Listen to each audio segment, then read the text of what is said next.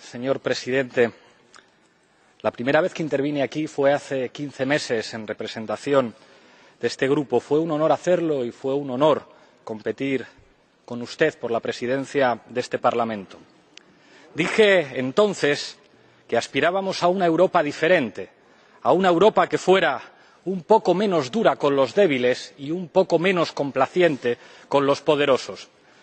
Creo que, por desgracia, esa afirmación de hace quince meses sigue siendo y sigue estando vigente hoy.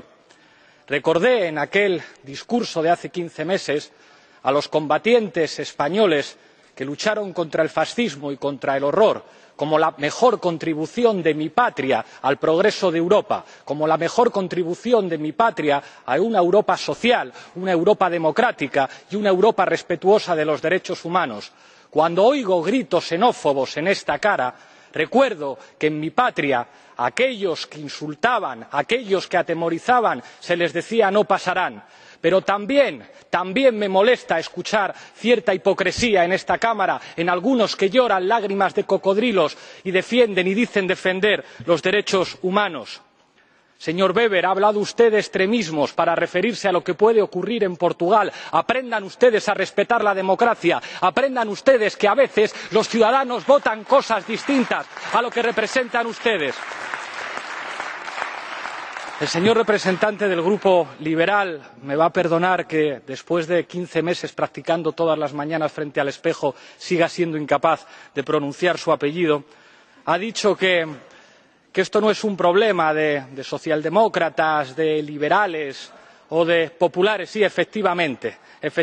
Ustedes han estado de acuerdo en los elementos fundamentales que han implicado una política exterior europea que ahora estamos pagando y que tiene que ver con la situación de miseria y humillación que están viviendo millares de familias a las puertas de Europa. Hoy hablamos otra vez de guerra y de desolación a las puertas de Europa de familias a las que se está respondiendo con alambradas.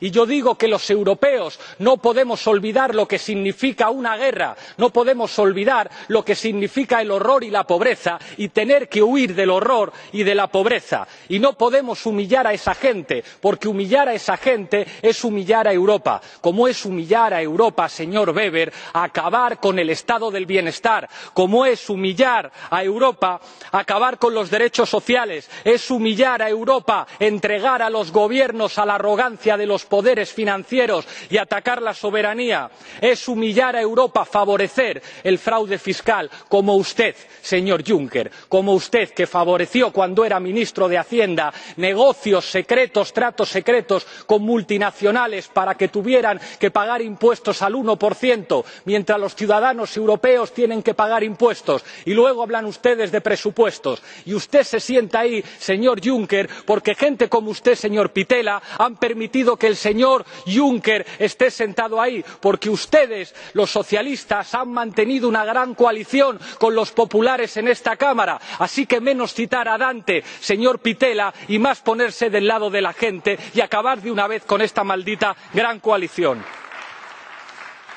Vuelvo a Vuelvo a mi país para que no haya, para que no siga habiendo en España gente como ustedes en el gobierno, pero quiero pedirles algo antes de marcharme cambien su política. La crisis de los refugiados no se resuelve con alambradas, la crisis de los refugiados no se resuelve con policía, se resuelve con una política responsable. Dejen de jugar al ajedrez con los pueblos del Mediterráneo, trabajen por la paz en lugar de fomentar guerras, ayuden a las personas que están huyendo del horror. No sigan destruyendo la dignidad de Europa, señor Juncker.